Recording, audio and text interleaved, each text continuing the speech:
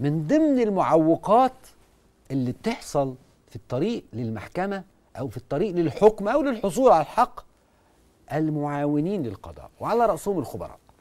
بنشوف إن مشكلة الخبير يقول لك القضية راحت عند الخبير. خلاص راحت المقبرة. لا نرجع للمحضرين يا سياده المستشار ده ليهم جزء لوحدهم في الحلقة هيزعلوا مني بس ليهم جزء. المخ... الم... ال- الخبراء.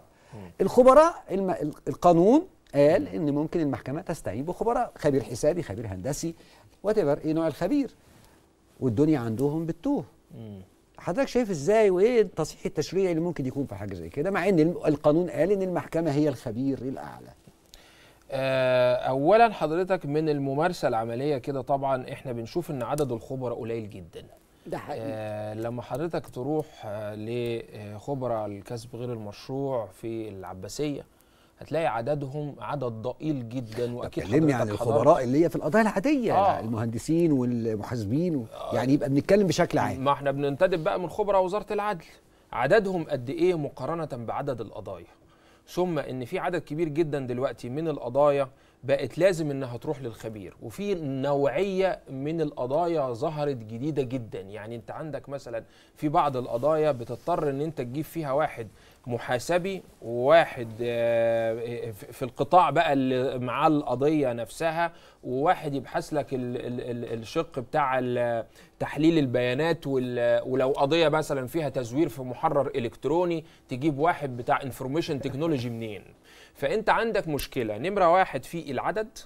عندك نمرة اتنين مشكلة في التخصص. التخصص في تخصص الخبراء دلوقتي أصبح دلوقتي أنت بتصدر تشريعات أنت اصدرت تشريع سنة 2018 اسمه قانون تقنية المعلومات. طيب. قانون تقنية المعلومات ده قانون كويس جدا وبيكافح الجريمة الإرهابية والأول مرة يبقى عندنا قانون بينظم الجرائم اللي بترتكب عن طريق الفيسبوك والسوشيال ميديا والكلام ده كله. طب هات لي بقى شخصيات أو أو أو أو أو, أو أفراد عندهم آه، آه، آه، قدرة مهنية أو فنية إن هو يوصف لي من الناحية الفنية السلوك اللي هو ارتكبه ده شكله إيه؟ يعني إيه القرصنة؟ مين اللي هيقول لي هي القرصنة دي ده ده ده ده ده, ده مصطلح قانوني ولا مصطلح فني؟ وتقول لي إمتى يبقى قرصنة وإمتى ما يبقاش قرصنة؟ ده في جريمة اسمها التدخل في الموقع في جريمة اسمها القرصنة القرصنة. دي جريمة طب ما في. حاجات فنية جدا يعني. حضرتك شايف من وجهة نظرك إن قلة عدد الخبراء قلة في عدد أي مجال الخبراء. هو اللي عامل لنا مشكلة. قله العدد وقلة التخصص. وقلة التخصص وده بيدفع العديد من المحاكم إنها بتلجأ للجامعات. يعني تلاقي حضرتك إن إن إن إن المحامي أو القاضي من تلقاء نفسه طبعا يشكل لجنة من الخبراء كلية الهندسة أو كلية التجارة أو كلية الاقتصاد وعلوم سياسية إلى آخره آه، لأنه مش لاقي آه، آه، برضه رغم إن في تخصص لكن مش لاقي القدر الكافي اللي اللي, اللي يشعره بقدر. أكبر من الطمأنينة في التقرير اللي هو بيبحث عليه وفي إحدى القضايا الهامة قدم فيها تقرير على أعلى مستوى من أسماء كبيرة وصلت إلى يعني شخصيات من أسماء يعني تكاد تكون من أصحاب القرار الاقتصادي يعني في الدولة.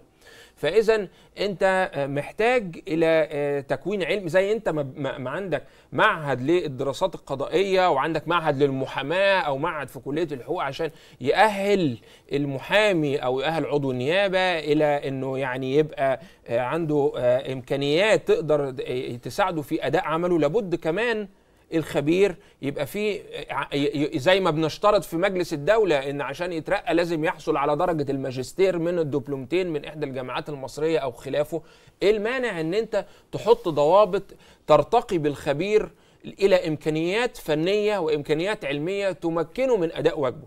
تالت حاجة ودي آخر حاجة هتكلم عنها عن الخبير هو المقابل المادي اللي هو بياخده. هو بياخد مقابل مادي قد إيه مقارنة بعدد القضايا اللي هو بيشوفها أنا دخلت قاعد أنا عادة ما بحضرش في عند الخبراء يعني كتير الحقيقة لكن حضرت في إحدى القضايا آه، في مكتب الخبراء فوجئت إن القاعة ال- الأوضة اللي كنا قاعدين فيها فيها أربع مكاتب لا أربعة وفيها- إيه ده ده كده أوضة والله. أربع مكاتب وكمية الورق. اللي فيها يا آه. دكتور أيمن للسقف داير ما يدور حوالين المكاتب الورق واصل للسقف فبالتالي هيبحث إيه ولا إيه؟ والمقابل طيب. المادي اللي بياخده كام؟ طيب. أستاذ محمد.